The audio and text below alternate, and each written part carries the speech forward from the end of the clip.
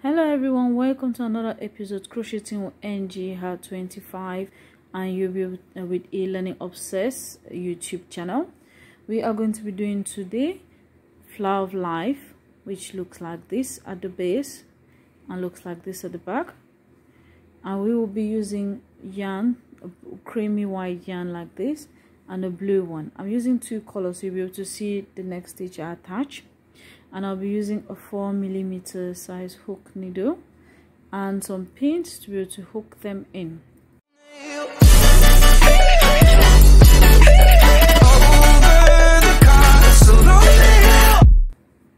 The first stitch of our work will be with a yarn over my thread in my hand and I do the ring.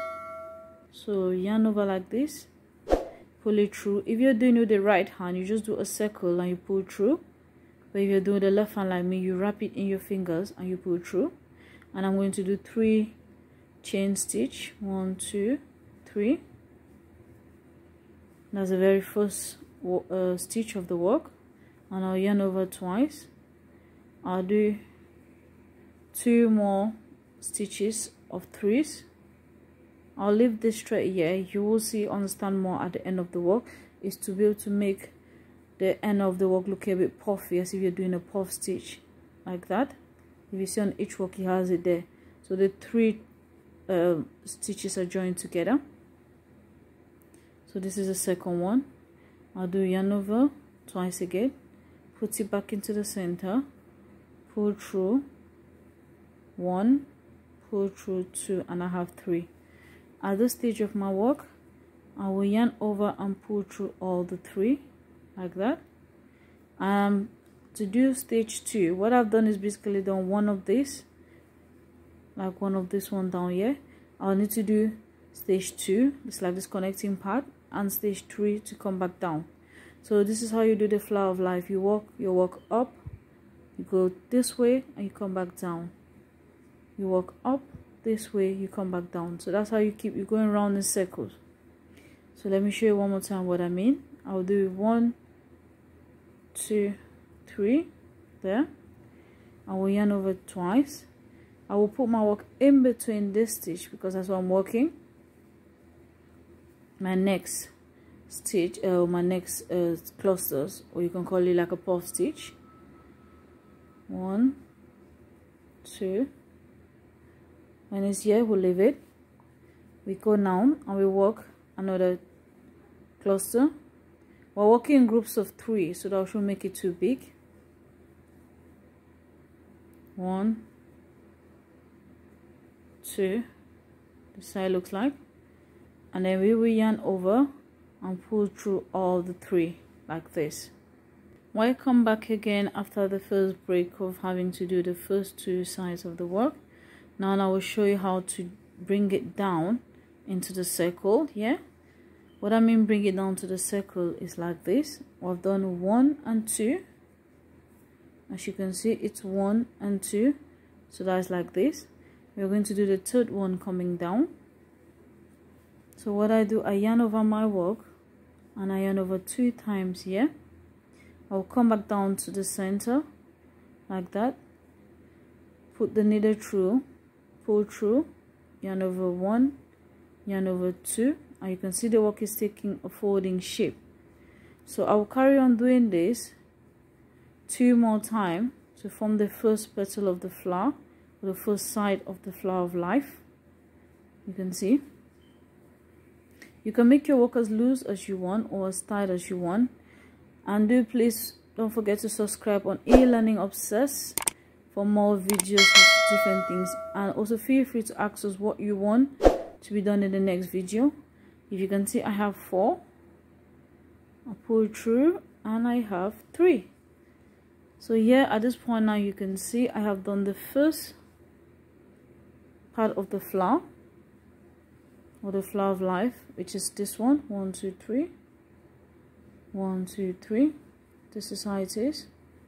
I will do one more time for you to see it again. At this stage of your work you do you do the pep the petal this one that's outward by doing one two three. That's the first one. Yarn over. You put through in between the work down. I forgot to do the double because we're doing triple crochets. So pull that yarn. One two. If you're struggling to understand the video you can just repeat the video one more time and you understand it more? But I'm doing it slowly so you can see exactly what I'm doing. You can see that's it the first three again. So basically this is what I'm going to do for the next four more for the base of the work. When I say four more it's here. One two three four five six for this base of the work before we go down to the next stage that's up like that so I've done the first one. I need to go now down. I'll do yarn over twice. Go down. Pull through. One two. So that's why I told you in the beginning your circle or the ring is not supposed to be tight or loose because as we're working you will see the circle is opening or is expanding. But do not worry when you finish you pull it up and stitch it in with a needle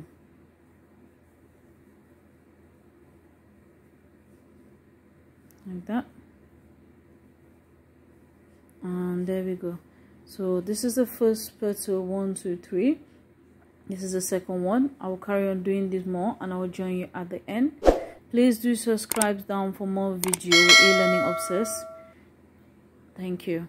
Hello everyone. Welcome to the final stage of making the flower of life with your host ng hat 25 on e-learning obsessed videos on youtube here you can see i have my six petals form one two three four five and i'm doing the sixth one as i showed you earlier on here. That was one two three four five six. So that's the base of the work this is how it looks like. For six uh, uh, petals at the bottom and then i will show you how you keep on adding on the next stage. So right now you can see i'm rounding up from the two earlier posts or videos you've seen where I started. I do uh, yarn over twice and pull through and one more time. So you do three petals of um, three triple crochets of yarn over twice and pull through and then there the last one. So you can see one two three four five six. That's all one at the base. But at this point you not just join together. You have to do one more external puzzle per petal like one two three. Yarn over twice. Put it there. One two. One more time yarn over twice. Put there. One two. So that's three now. One two three. Yarn over pull through and then I will join it to the very first stitch of my work like that and I'll do a slip stitch.